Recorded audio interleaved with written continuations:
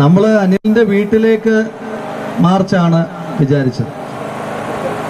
പക്ഷേ ഡിവൈഎസ്പിയുടെ നേതൃത്വത്തിൽ ഒന്നല്ല രണ്ട് ഡിവൈഎസ്പി വരെ വന്നിരിക്കുന്നു. രണ്ട് ഡിവൈഎസ്പിമാരുടെ നേതൃത്വത്തിൽ വഴിയിൽ തന്നെ ബാരിക്കേഡ്. എനിക്കത് കണ്ടപ്പോൾ ആദ്യം ഒരു അസ്വസ്ഥത ഉണ്ടായിരുന്നു കാരണം നമ്മൾ വീട്ടിലോട്ടാണല്ലോ മാർച്ച് വെച്ചത്. പക്ഷെ പിന്നെ ആലോചിച്ചപ്പോൾ ഇതാ നല്ലത്. കാരണം ശ്രീ അനിൽ ഒരു കൊള്ളരുതാത്തവനാണെന്ന് എന്തായാലും അവന്റെ വീട്ടിലുള്ളവർക്കറിയാം. അപ്പൊ അവന്റെ നാട്ടുകാരും കൂടെ മനസ്സിലാക്കണം അവനൊരു കൊള്ളരുതാത്തവനാണെന്ന് മനസ്സിലാക്കാൻ പറ്റുന്ന രീതിയിൽ ഏതോ ബുദ്ധിയുള്ള പോലീസുകാരനാണ് വഴിയിൽ ഈ ബാരിക്കേഡ് ഇട്ട് തടഞ്ഞിരിക്കുന്നത്. അതിന് ആ പോലീസിനോടുള്ള പ്രത്യേകമായ നന്ദിയും സ്നേഹവും ഞാൻ പറയാനായിട്ട് ആഗ്രഹിക്കുന്നു. പോലീസ് ഉദ്യോഗസ്ഥന്മാരോട് പറയാനായിട്ടുള്ളത് ഏറ്റവും ഒടുവിൽ നടന്ന തുമ്പമൺ സർവീസ് സഹകരണ ബാങ്കിലേക്കുള്ള തെരഞ്ഞെടുപ്പ്.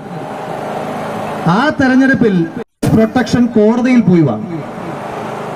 പോലീസ് പ്രൊട്ടക്ഷൻ നമ്മൾ കോടതിയിൽ പോയി വാങ്ങി. പോലീസ് പ്രൊട്ടക്ഷൻ ഉണ്ടെന്ന് പറഞ്ഞപ്പോ അടൂർ ഡിവൈഎസ്പി അടക്കമുള്ള ആളുകൾ വിചാരിച്ചത് കള്ളവോട്ട് ചെയ്യാനായിട്ടുള്ള പ്രൊട്ടക്ഷനാണ് ഓർഡറായിട്ട് കോടതി പറഞ്ഞതെന്ന്.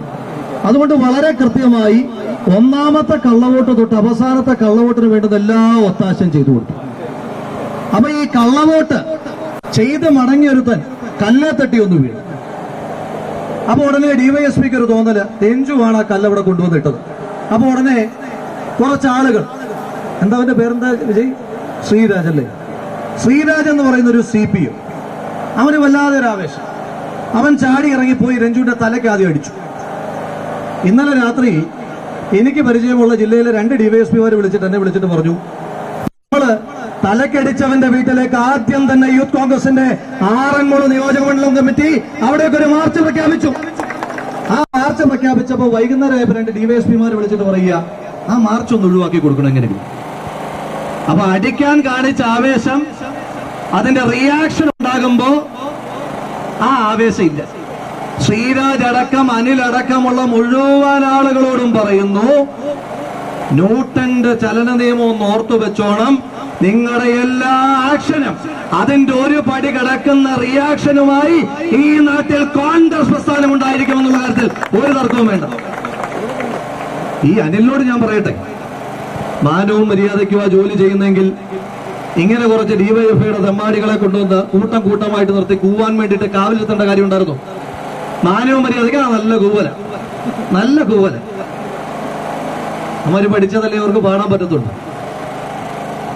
ഈ തിയേറ്ററിലൊക്കെ സ്ഥിരമായിട്ടിരുന്ന് കൂവുന്ന യുവന്മാര് കരണ്ട് പോയാൽ അപ്പ കൂവും. ഇപ്പൊ വെളിച്ചത്തിൽ അവന്മാർ കൂവി തുടങ്ങി എന്തായാലും സന്തോഷം. ആകെ അറിയുന്നൊരു പണി ഇതാ. സംഘടനാ പ്രവർത്തനമൊന്നും അറിയത്തില്ല. രാഷ്ട്രീയ ബോധമുണ്ടോ? എന്നാൽ ആ കൂവിക്കൊണ്ടിരിക്കുന്ന ഏതെങ്കിലും ഒരുത്തനെ ഇങ്ങോട്ട് വിളിച്ചു നിർത്തിയിട്ട് എന്തിനാ നിങ്ങൾ കൂവുന്നത്? എന്താ ഇവിടുത്തെ പ്രശ്നം? എന്ന് ചോദിച്ചാൽ ആ പിന്നെയും കൂവും. കാരണം കാര്യം പറയാൻ അറിയത്തില്ല. ഇത് മാത്രമേ അറിയത്തുള്ളൂ.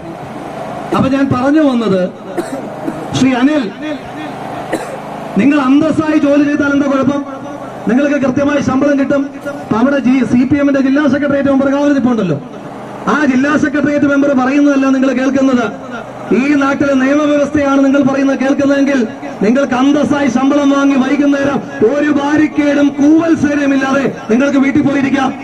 പക്ഷേ അന്തസ് കെട്ട പണി നടത്തിയാൽ ഇതുപോലെ രണ്ട് ഡിവൈഎസ്പിമാരുടെ നേതൃത്വത്തിൽ പോലീസ് ബന്ധവസം ക്രൂവാൻ കാവൽക്കാരെയും ഏർപ്പാട് ചെയ്യാതെ അനിൽ ഒറ്റയ്ക്ക് വീട്ടിലേക്ക് പോകാൻ കഴിയില്ല. News for truth. I to I news subscribe ചെയ്തിട്ടില്ലാത്തവർ ഇപ്പോൾ തന്നെ സബ്സ്ക്രൈബ് ചെയ്യുക. നോട്ടിഫിക്കേഷൻ ലഭിക്കുവാൻ ബെൽ ബട്ടണും അമർത്തുക.